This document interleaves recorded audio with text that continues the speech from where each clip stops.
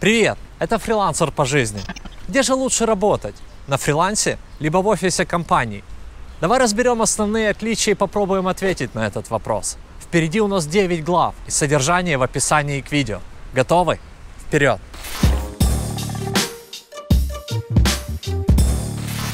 Важным пунктом при выборе своего пути является твоя способность к самоорганизации, либо нужда в контроле. О чем идет речь?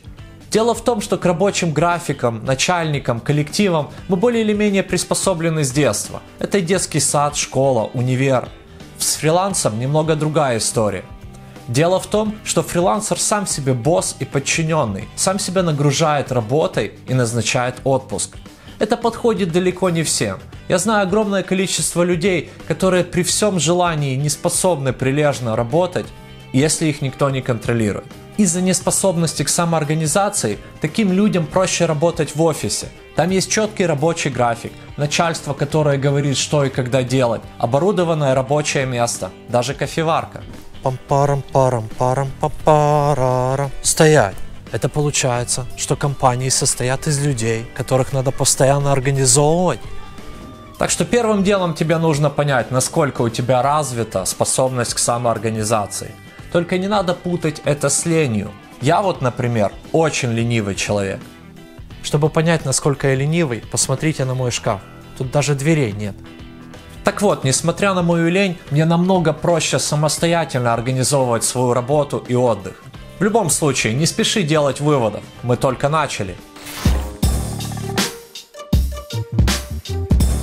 Итак, представим себе, что профессия выбрана, обучение пройдено, и ты думаешь над тем, где же легче начать свою карьеру.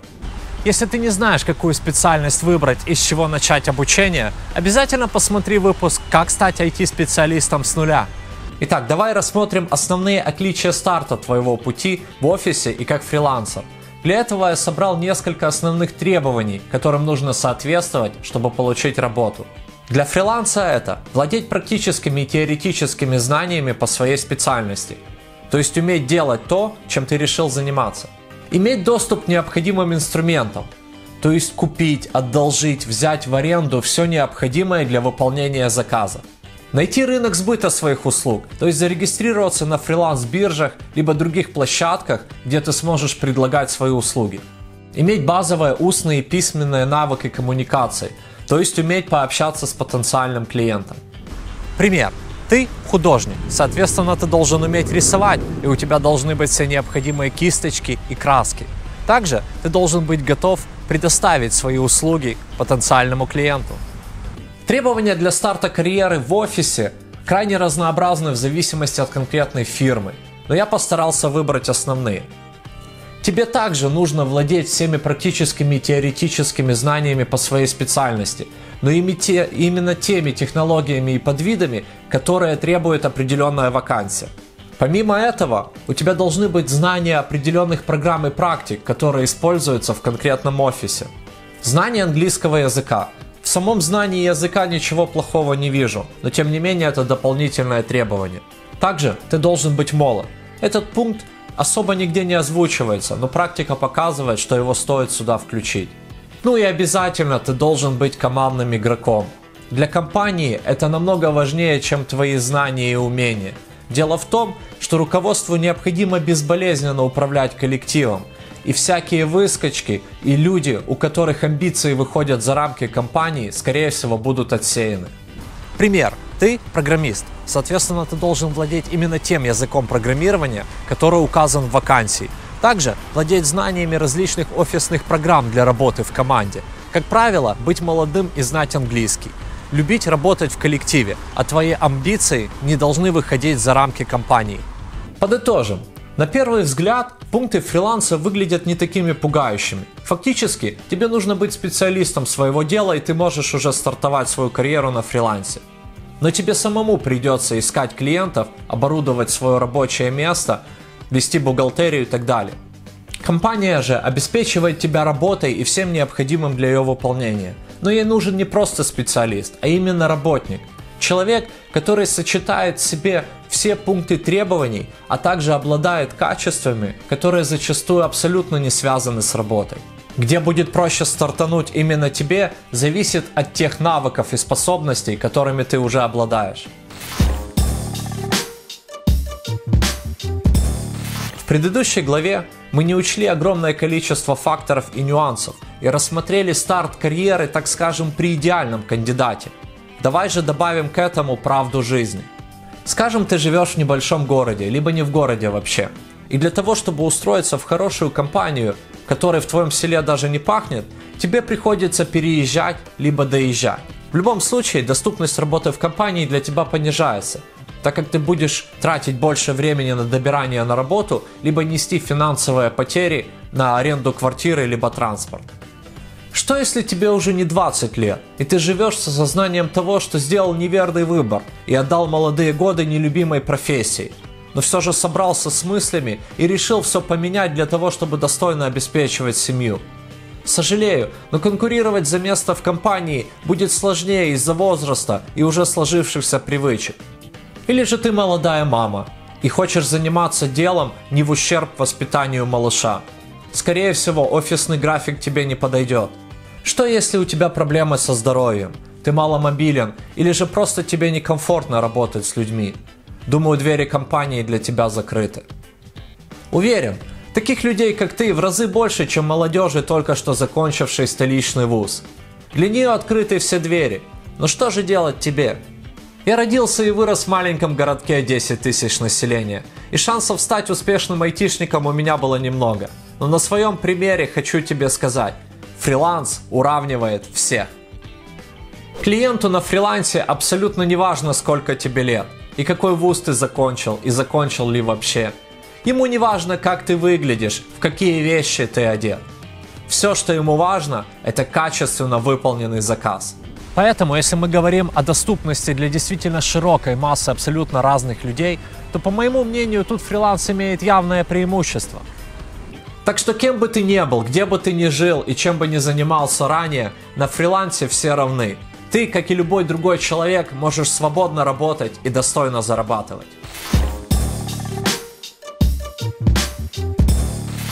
Родители всегда говорили мне, нужно работать в большой компании, стабильность прежде всего – и сложно с ними не согласиться. Работа в крупной компании на первый взгляд выглядит намного стабильнее, чем фриланс. А имея прогнозируемый доход, намного проще планировать свое будущее, быть уверенным в завтрашнем дне. А тут еще и страховка и пенсия. Именно из-за отсутствия стабильности заказов многие новички бросают фриланс в пользу офиса. В то же время многие специалисты уходят из офиса на фриланс из-за недостатка свободы. Вот тебе моя история. Как и хотели родители, в 2003 году я еще учась в университете начал работать в большой компании по производству автомобилей. Трудился я в отделе таможенного оформления, который считался престижным. Отличный коллектив, неплохая зарплата, скорое повышение и служебный автомобиль. Не работа, а мечта, особенно в моем маленьком городе. Но становилось скучно. Работа была не всегда, а офисный график требует от тебя сидеть от звонка до звонка – и именно в тот момент из-за скуки я и начал захаживать на фриланс. На тот момент я не был специалистом по созданию сайтов, так, самоучкой, но мне удавалось взять один-два заказа в месяц. И я даже представить себе не мог, как круто это изменит мою жизнь. В 2008 году случился экономический кризис. Наш завод практически остановился, начались сокращения. И в тот момент я живу с будущей супругой на съемной квартире. И только мои начинания на фрилансе помогли мне остаться на плаву. Я уже горел идеей работать не выходя из дома и достойно зарабатывать. Так на завод я больше и не вернулся. В августе того же года я заработал на аренду квартиры, а уже в декабре стал зарабатывать в два раза больше, чем зарабатывал на заводе. И что самое главное, сегодня 2019 год, а я все еще фрилансер. Чем не показатель стабильности? Моя история должна показать тебе, что случиться может все, что угодно. И не имея навыков работы в поле, то есть самостоятельно, можно в секунду остаться за бортом. Подумай над тем, что ближе тебе.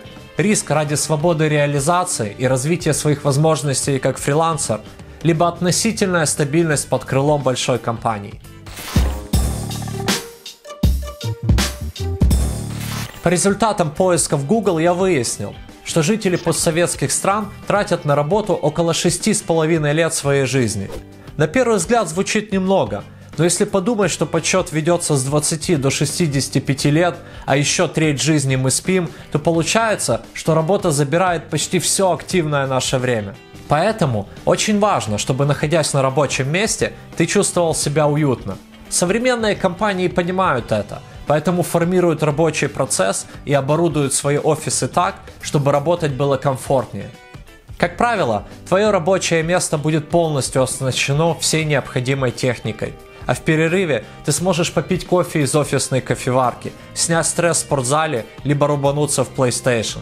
Также компании постоянно декларируют дружественный коллектив, совместные развлечения, так называемые тимбилдинги, обучающие курсы, возможность переехать в другой город либо страну, где находятся офисы компаний и многое другое.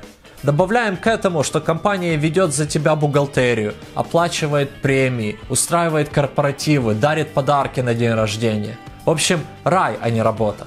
Что же может предложить тебе фриланс? А ничего, и одновременно все. Выбрав карьеру фрилансера, ты автоматически лишаешься всех без исключения приятных офисных плюшек. Так что же комфортного на фрилансе? Начнем с того, что к 6,5 годам нашего рабочего времени стоит добавить еще время, которое мы тратим на добирание до нашего комфортного офиса. А это приблизительно еще 2 года стояния в пробках, метро либо маршрутках. Работая удаленно, ты однозначно проведешь это время комфортнее. Рабочий график. Формируй его сам. Лень вставать по утрам – не проблема. Работай тогда, когда это удобно именно тебе. Идем далее. Рабочее место. Вспомним знаменитую поговорку «Везде хорошо, но дома лучше». Что может быть комфортнее, чем твой собственный дом? Там ты можешь быть самим собой, работать в одних носках или совсем без них. Настроить комфортную температуру, включить любимую музыку, питаться любимой домашней едой – работать на своем собственном компьютере с помощью любимых программ и инструментов. Дружественный офисный коллектив – это замечательно. Но что если он не совсем дружественный? Все мы люди и рано или поздно становимся героями офисных сплетен, что точно не прибавляет комфорта к работе. Отдых либо отпуск. Тут тоже комфорт на стороне фриланса. Почему? Потому что фриланс сам себе назначает отпуск – то есть он может уехать тогда, когда ему хочется, либо когда крутые скидки. Мое личное мнение состоит в том, что компания действительно обеспечивает тебя всеми атрибутами комфортной жизни, но не самой жизнью. Мне приятнее видеться с друзьями, а не с коллегами, и именно тогда, когда этого хочется. Ездить в другие города и страны отдыхать, а не работать. Иметь возможность распределять время и заработок так, как это нужно в данный момент – да, взамен мне приходится искать клиентов, вести бухгалтерию. Но черт возьми, оно того стоит. Ну а купить домой PlayStation – это вообще не проблема. Где комфортнее будет именно тебе, решай сам. Мы все разные, и это здорово. По моим наблюдениям, уровень заработка одного и того же специалиста в офисе компании и на фрилансе будет примерно одинаковым. Соответственно, уровень твоего дохода будет зависеть от того, насколько ты развит как специалист. В компании тебя повышают и дают больший оклад. На фрилансе ты сам себе поднимаешь цену, когда считаешь нужным. Но есть одно существенное отличие. Уровень зарплаты в компании ограничен регионом, страной, конкурентами, либо же желанием руководства. Фрилансер же может предлагать свои услуги по всему миру абсолютно без посредников – а это значит, что приложив усилия, можно выйти на рынки, где за твою услугу заплатят намного больше, чем в локальной компании. И несмотря на то, что найти дорогого клиента самому в разы сложнее, чем в составе фирмы, но у фрилансера точно есть такая возможность. Что же означает работать в компании удаленно? Ты все так же будешь работать в компании, но без посещения офиса – Требования к удаленному сотруднику все такие же, как и к локальному. Но здесь намного больше доступности. При этом все плюсы стабильности остаются. Что же касается комфорта, ты, конечно, потеряешь часть офисных плюшек, но при этом тимбилдинги, премии, обучающие курсы и так далее остаются. Отличия от фриланса уже не такие явные, но они все же есть. Да, тебе не нужно добираться на работу, что невероятно круто. Но скорее всего у тебя останется офисный график, коллектив, который пусть и не находится с тобой в одном помещении, но он все же есть. Все практики и программы тоже придется использовать те, которые использует компания. Уровень оплаты и отпуска тоже регулирует фирма. Стоит ли называть удаленку золотой серединой? Возможно и стоит. Но лично для меня компания и в Африке компания со своей бюрократией, начальством и отпусками, когда скажут. Лично мне было бы еще сложнее выполнять все эти правила, сидя у себя же дома. Ну как промежуточный этап между офисом и фрилансом однозначно стоит рассматривать. Мы с тобой уже разобрали немало информации и отличий между офисом и фрилансом. Пришло время заглянуть в будущее и понять, что нас ждет впереди каждой из дорог. Успешная работа в компании подразумевает карьерный рост. Сначала ты сеньор, ну да. Сначала ты джуниор, потом middle, потом сеньор, потом лид и так далее. Это влечет за собой повышение зарплаты и улучшение условий труда, возможно переезд в другой город либо страну. У фрилансера же нет никаких делений на классы и сословия.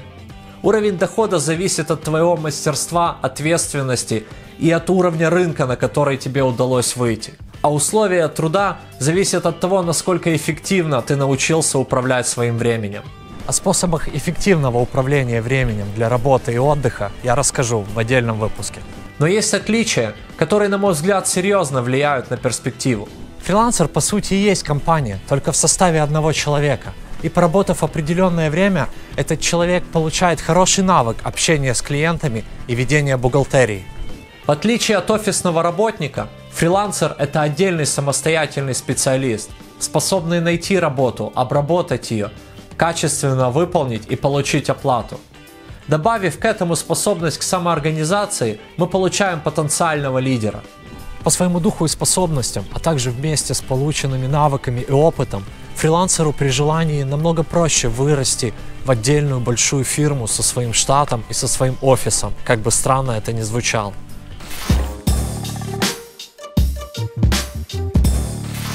Целом, офис и фриланс можно сравнить с телевидением и ютубом.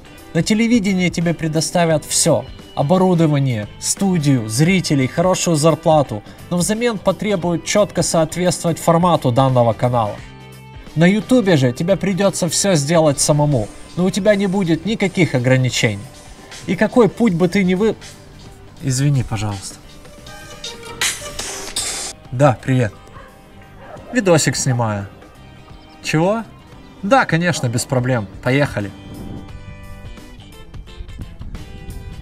И какой путь бы ты ни выбрал, помни, живи, а работай в свободное время.